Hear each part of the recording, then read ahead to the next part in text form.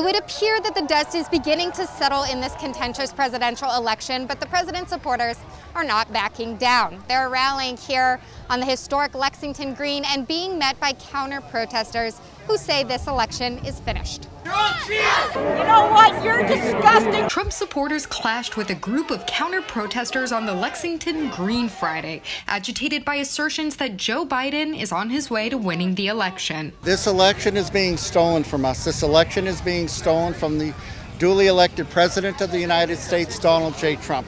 It is a corrupt, a corrupt system aligned against him and we, his supporters. Supporters claim rampant voter fraud has cost the president re-election, but no such evidence of widespread tampering has been shown. Legal and fair election, period. That's what we want. That's what we're going to get, we ain't going to stop till we get it. We respect the will of the voters. There's been no evidence of fraud.